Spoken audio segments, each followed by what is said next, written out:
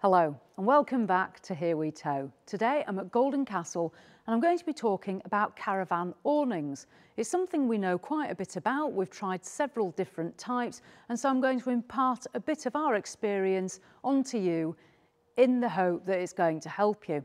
It might be that you're completely new to caravanning and know nothing about awnings, or it might be that you're a seasoned caravanner, but you're looking for a new awning, or you're a little bit unsure about the different types and sizes. So what I want to do in this vlog today is explain a little bit more about the differences between a poled awning and an air awning, and then have a look at the different types in terms of a full awning, a porch awning and a canopy. So that's the topic of today. So what we're going to do is we're going to have a look around this indoor showroom at Golden Castle and get a better idea about what it is we're talking about. Now the awnings that we've got on display here today are going to be Isabella, which is a top-end awning manufacturer. We've got a couple of Vangos and then we've got a company called Camptech and I'll come to those as we move around. There's also a couple of other companies as well that are worth looking at. That's Kampa, who many of you may have heard of, Bradcot and Dorema. There's also others such as Outdoor Revolution and Outwell. There's loads on the market, but many of them are going to offer poled awnings and air awnings. Now originally, when caravan awnings were developed, they were poled awnings. And what do we mean by poled? Explain what a poled awning is. Now, as it would suggest, a poled awning is an awning that is erected with the use of poles. You'll get the material of the awning itself, and then if we look in here, we see poles. Now, a lot of uh, companies now are using fiberglass poles and that will increase the, the price slightly. But the benefit of fiberglass is it's strong but it's extremely lightweight. So you can see the poles here. So you push the poles into the awning and it erects. The good thing about poled awnings are they are very sturdy because it's more of a rigid frame. As you can see there's not a great deal of movement in that structure. So in bad weather, a poled awning will hold up very well. And poled are very popular if you've got a seasonal pitch and you're put an, putting an awning there. Isabella are still very keen on the poled awning sector. Many other of the caravan manufacturers, though, have now moved over to air awnings. And I'm going to show you air awnings next.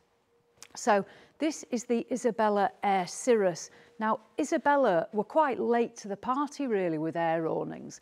They only started with theirs a couple of years ago, really. Before that, they had, did have a separate part um, of Ventura, which did the air awnings, but Isabella are now embracing it. So if we look into this Isabella air awning, we can see here we've got, instead of poles, we've got air beams. And all of these, instead of having poles, they have beams which are inflated and we can see there in the roof structure and here. So the benefits of an air awning are that it keeps the awning lightweight. Most of them will have a single inflation point. Some of them will have more. The Isabella one here has got several inflation points. If I just unzip this, you'll see what I mean by an inflation point, which is here. And you'd get a pump with the awning as well. So as I say, when I say about single or um, multi-inflation points, you'd connect your pump to here, pump this up, and this will inflate a whole beam in one point. You then go on to your second point and inflate further until the whole structure is inflated. With a single point, literally, you pump it up in one place and Kampa are very keen on that and the whole thing inflates and it's a very simple process. The only thing with air awnings is what goes up must come down and there is a chance that they can develop a puncture and those can be repaired. It happens very rarely. I must say in all our use of air awnings, we've never suffered a puncture or any form of damage to our air awning. Air awnings are still very sturdy in bad weather. We've been out in many a gale, believe me, and storm, and the air awning has had absolutely no problem. But it does depend on the quality of the air awning and again how thick the material is that you, the, that you are using on that awning. So I'll come to that a bit more in a minute. But so those are really the two different types. As I say, a poled awning and an air awning. An air awning is much easier to put up, it's much quicker to put up, and it's also easier to take down. You just deflate it and then make sure you've removed the air and fold it up. Price-wise, there's not a great deal in it to be fair, but um, it's really a personal preference as to which you prefer. The air is going to save you weight and time, but, the pole may offer bit more of a sturdy awning in bad weather, particularly on a seasonal pitch. So what else do we need to know? Well, we need to know next about the different types of awning. Now, some of you may have heard the words porch awning and full awning. So what we're going to do is look at a porch awning first of all. And we're just going to firstly head off in this direction over here. Now, a porch awning, don't be confused when you hear the word porch because it sounds like something small and that's definitely not the case. A porch awning is an awning that you're going to feed in through your awning channel and it's going to be fed along the straight part of the caravan channel. It's going to come down and it's not going to cover the whole of the caravan.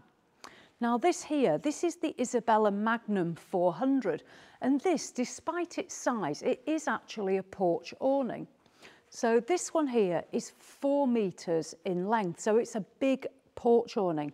Porch awnings start at around two metres in width, although they tend to use centimetres, so it might be called the two, say the Vango 200 something, or the Isabella 200, and that means 200 centimetres that way.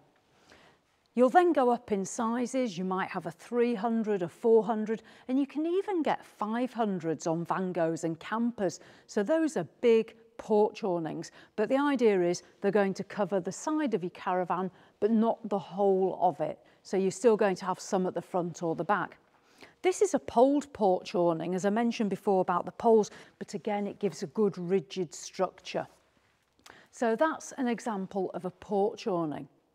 We'll just venture back again this way and show you the uh, back to the Air Cirrus porch awning. Now, on this one, this cirrus here is three metres. We'll come to the annex in a minute, but it shows how a three metre one certainly looks quite a bit smaller than that four metre that we just looked at. And this is quite a practical sized awning for most caravans. We'll go on have a look in a little bit about caravans and how to make sure you get the right size on yours. But this is a good example of a three metre one. And what you also need to think about is the depth of the awning, particularly if you have a, a wide caravan or a big tow car, because what's, what's important to remember is when you've got your pitch, not all pitches are wide, some are small, uh, and we've had this personally. If you've got a big caravan, like an eight foot wide one, and then you've got a deep awning, then you're going to be much further out on your pitch. And you also need to think about pegging out because once you've pegged out, you could end up quite a lot further out. Some awnings are two and a half metres in depth, some are up to three metres in depth. So make sure that you're thinking about how big your total outfit's going to be with the width as well. And this is an air porch awning. This is an absolute top of the range really as far as air awnings go. You can probably see from the quality of this material. And this is a £2,000 um, awning which is a lot of money to spend. If you've got the money to spend, then this really probably is an unbeatable air awning. It's extremely well made. And this, it's not going to fade in the sun. It's going to withstand all the bad weather. And this is really an all year round awning. And we do have the extra bit here to give that little bit of shade. I'm not going into all the features of awnings today because different awnings do different things, as you can see about how they, they roll down, which parts open up, and things like the curtains that are fitted into them. So I'm not going into the specifics. We're just talking about the different types of awnings. We can see here on the end of this Isabella uh, a little annex or pod. These are known as annexes. And the idea is these are going to increase the size of your awning. Now, if you were just away for a weekend, something like this is usable for a weekend. It's easy to put up. You can use it, it's got plenty of nice space, but it might be if you're away for a longer period of time, like a week or two, that you want a bit more space. Now, and this is where the annex comes in. You can use this for various things. You can set it up as a dining room. You can use these as bedrooms as well. That's a popular thing to do with an annex. And these are quite expensive to add. An annex can be anywhere from around £300 up to something like this, which is probably going to be about an additional £1,000, I would imagine, um, on top of um, the awning price. It says here it's, it is £1,000. But the annexes, you can get them to go on either side of the awning. And this isn't specific to Isabella, this is across the range of all the, the awning manufacturers that you're going to be able to get something like an annex. So a really good addition there for that bit of room. Now, if you are the sort of person that likes a much larger awning, you want a full awning, we're going to have a look at those next. Now, a full awning. I personally have never used a full awning. I don't have any personal experience of using one. This is a full awning and as you can see it is huge. These are specifically sized to your caravan. It's important when you buy an awning, a full one, that you know the size that you're going to need for your caravan because these are going to feed through the awning channel and they will literally be from the front to the back of your caravan. So if you get your size wrong, you're going to have too much fabric, it's going to be too big. But the websites for the manufacturers should give you the right one for your uh, particular uh, caravan. So as I say, a full awning, you're going to feed it through and it's going to take up the whole size of your caravan. These are, these are more time consuming to put up because they are such a big uh, awning. They're going to be heavier. Um, generally, a lot of the, the full awnings are poled, particularly on the Isabellas, although others do offer um, an air option.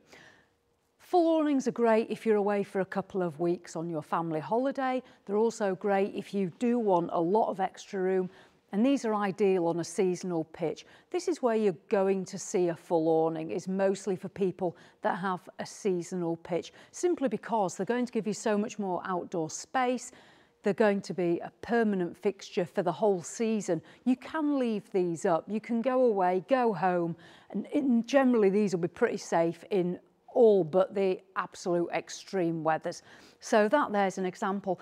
Now, a lot of these awnings, with them being pole, they're actually cheaper than that uh, Cirrus that I've just showed you. You're probably going to be looking at a price starting at around 12 to 1300 pounds for a smaller full awning and it's going to be going up to 1700 it does depend on the size and the one that you choose you can spend over 2000 pounds on one of these um, but generally, that's what you're going to get.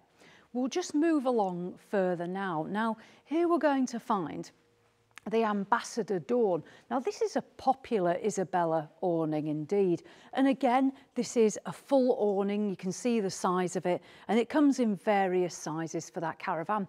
What I do like about the Isabellas, and this is why they're really popular, is they have various bits that you can add on. So as well as the annexes that I talked about on the porch awning, you can add annexes onto this to make it even bigger. But they have things like the cosy corner, and this is the cosy corner here. And these come in different sizes, but it's going to give you even more outdoor space for sitting, as you can see, and it's going to, as well as give you shade, it's almost like a windbreak as well. So there's lots of different bits that you can add to um, your awnings. You will find with Isabella's that the, the material, and I know I mentioned this before, but the material is, is such good quality and you get lovely features such as the curtains that come with them um, and various bits. So that again is a, a full awning.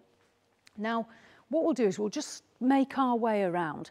Other features that you might add um, with your awning are things like windbreaks. Now these are often popular to put around your awning or your caravan if you've got pets, if you've got children or you just want some added privacy. And even if you're at the coast, if you're somewhere where it's a little bit windy, a windbreak is a great addition. And these are really quite sturdy as well. They peg into the ground and they're going to give you all those various things that I've just mentioned there. This awning, again, now you can see the size of this. This is another full awning again. And this one's got the additional feature of this canopy, again with its poles here as well. And this is called the Eclipse, and these are carbon fibre poles. Um, so it's going to give you more outdoor space. This would be really popular if you like to tour in Europe, but a huge, you can just see the size of this. I mean, I'll, I'll venture in to give you an idea of space. But coming into it, it's absolutely an absolutely huge awning. You're going to need a massive pitch for this, let's be honest. Um, but then we also have an annex as well on the side there, which is a, another addition. I mean, something like this, realistically, is not going to fit on many pitches in the UK. This sort of thing is maybe if you do pitch on a, a large CL where you've got loads of space around you. Otherwise, yeah, this might be a little bit too much for many pitches, but it gives you an idea. It looks absolutely amazing. So those are some of the full uh, awnings. What we're going to do now is venture down and have a look at some different awnings that give you a different style, because these are quite traditional awnings of the Isabellas. Um, so we'll move down this way and just have a look. So what we're going to look at next is Vango. And Vango is a brand that we've got a lot of experience with. When we bought our first caravan, the first awning we bought was our Vango Kalari. And that awning was absolutely brilliant. And that really got us sort of into the, the Vango brand. Um, and it never disappointed us, to be fair. So what have we got here? Well, this is a Vango porch awning. This is the Tuscany. Now, Vango is a middle-of-the-range cara uh, caravan awning manufacturer. They're very good. All their awnings um, for your caravan are going to be air beams. They're well tested. They've been selling these for years. And I must say, they are an excellent, good value option. Of an awning similar to this sort of size, you're going to be looking at, at around a thousand pounds. But what I will say is, at the end of each season, you can save a lot of money by buying last year's model. And that's what we did when we got our first one. Now, with the Vangos, they have different types of fabric. Uh, some of them are for all year round use and they're heavy duty and they can cost you considerably more money. Those can be up to £2,000 on a large uh, four metre all season awning. Uh, something like this, although these are usable all year, they're completely waterproof, the material's much lighter weight, so it makes this an easier option for transporting around and putting up if you're just using it for a weekend or a week. But Vango, very good indeed. They have all the features that you want. They've got loads of nice accessories that you can add as well. Now this one, this is the Rapide. Now we've actually re reviewed the Rapide on the channel so you can look back at that. And as you can see, this is a much smaller awning compared to those other ones that we looked at down there with Isabella. These are very lightweight. These are generally under 20 kilos, so easy to carry about. They're easy to put up. You'll see the video where Jules puts this up. Um, it goes up in no time. Literally, you've just got your main inflation beam here, uh, and then you peg out the awning, and that is it. These are ideal as well for smaller caravans because it's only two and a half metres as opposed to that huge three, four or five metre width and the depth is good as well so you don't need that much bigger pitch. So these are really good. Um, the material, it's certainly suitable for use probably from March time through till October, November. You could use it in winter, don't get me wrong, um, but that sort of winter use would certainly shorten the life of an awning like this. But they are robust uh, and price-wise, you're looking at sort of, three to four hundred pounds for something like this. So it works out a good value awning. Um, but yeah, definitely a, a smaller porch, ideal for weekends or if you're just a single person having to put something up by yourself, you can see the sort of space you're going to get. And in winter, these are useful for a weekend, just to have something so you can take shoes off before you go inside, somewhere to put the dog if it's wet, or to put your coat. So yeah, something like the Rapide. So that's Vango. What I'm going to do now is I'm going to head over and have a look at um, a brand that's more of what I'd consider an entry level or budget brand. And I never use the word budget in a derogatory way um, because just because something is a budget product, it doesn't mean it's any less useful or well made. Um, it's just that it is uh, more cost effective in the way, generally the way it's manufactured. And this is Camptech. Now, they've got these on display at Golden Castle. I must say Camptech, it's not um, a brand that I've got any um, experience of, but I must say for an entry-level awning, these do appear pretty well made. This one here, it's, it does reflect very much the way the Vangos are manufactured. So I don't know where Camptech have sort of developed their products from, but they do have um, many similarities to the Vango product in many ways. So it'd be interesting to see how these fare.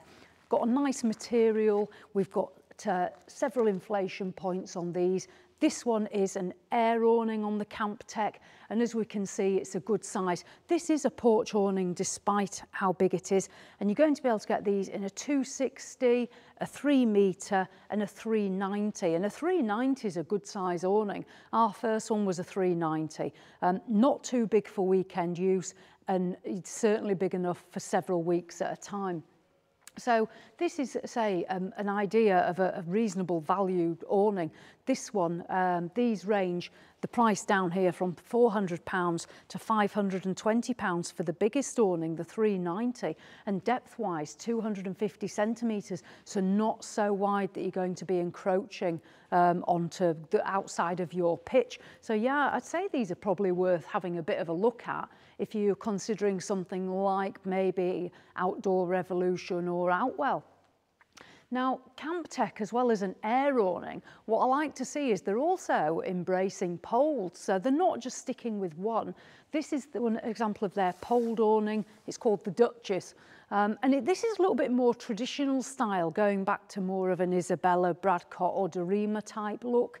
And again, it's each to their own. Personally, I like the more modern style of the Vangos um, as opposed to the traditional style, but it's completely up to the individual. So you can see here, we've got a nice fabric grey, so that's going to sort of hide the weathering. We've got curtains in here. These doors are obviously going to zip out. Um, but yeah, I mean, again, it seems for, um, for a, a weekend or a week use, that could well be a good awning.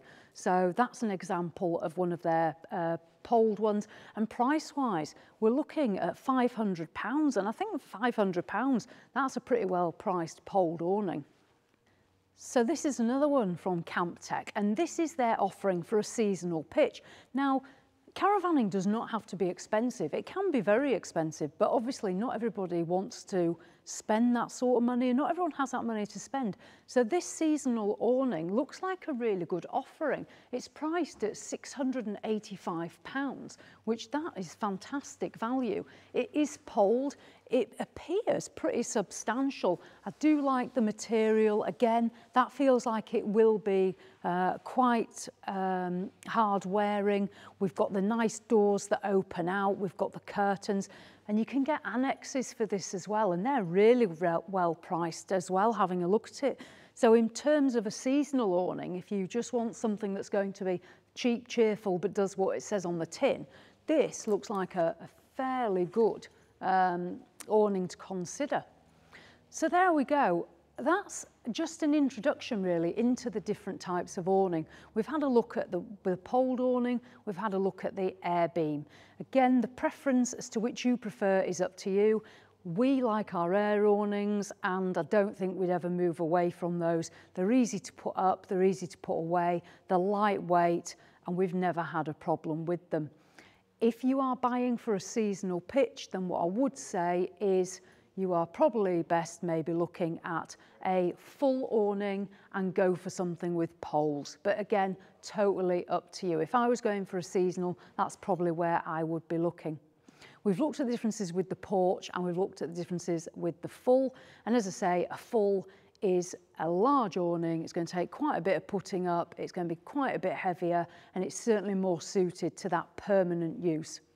A porch awning, various sizes from two metres in width all the way up to five metres. But again, the bigger you go, the heavier it'll be, the harder it'll be to put up and the harder it'll be to pack away. So just bear that in mind. We made the mistake a couple of times of thinking bigger was better with an awning. And it turned out that bigger was not always that much better. Sometimes the, the smaller the awning, the more likely you are to use it because it's easier to put up, it's easier to put away. Um, so my advice with an awning is probably buy the smallest one you actually think you can live with. That is probably going to be the best advice. What I want to do next is I just want to venture to a caravan and I just want to give you some tips about when it comes to you buying an awning, what you need to be looking at to make sure that your awning is going to fit your caravan because this is an easy thing to fall foul of. So we're just going to have a one look at one quick tip um, which may help you with buying an awning. So let's go and find a caravan. So when you're looking at getting the awning for your caravan, now the awning is going to feed into the awning channel and there's going to be points on the side at the front and the back. So the channel runs the whole length around the caravan, as you can see. Now, with a, a full awning, it's important, what I was saying about sizes, because you're going to feed the awning in and it is literally going to cover from that end all the way to this end. So the full awning is going to be the full size of your caravan. And once it's up, you then don't have to worry about what's going on on this side of the caravan because it's going to take up the whole size of it. With a porch awning, it's a little bit different, and this is where you've got to think. Now, as I said, there was different sizes. When you feed your porch awning in, you're going to feed it in either from the front or the back. We always feed from the front. And it's going to then go along this flat side of the awning channel. So it's, it's not going to be coming down here and it's not going to be there at the back. So on a smaller caravan like this, if you were to buy a five metre width um, porch awning, you are going to be pretty much at the limit of it on that, this sort of caravan. A three or four metre awning would be obviously more of a sensible choice. You've really got to think about that sort of size at the top there. If you've got an even smaller caravan, like you've got a small two berth, then you want to be looking at those smaller porch awnings because your rail up there is going to be much shorter. So really bear that in mind. The next thing you need to think about is where that awning is going to come down the side of your caravan, whether it be a poled awning or an air awning, you're going to have beams or poles that come down and meet the side of your caravan, the side wall, and create that seal to stop the wind and rain blowing in. And the reason I'm saying this is important because as you can see here, now this caravan, the door's quite far forward. We've got utilities here. We've got a window here. So your awning is going to have to come one side of the door because the idea is you come out of the door into the awning. But as you can see here, you're either going to have to come down across your window with your awning, which means you won't be able to open this.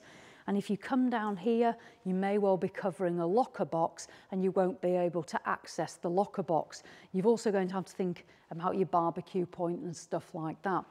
So for me, I would maybe consider bringing an awning down here so it comes down here so you can still access the box and use the window and then coming back again, it's where you're going to think about the awning coming down, whether that be three meters four meters because again, if you've got a shorter awning, something like a 260, that's going to come down there, it's going to come across this box, and once it's pegged down, you then won't be able to use your access under there.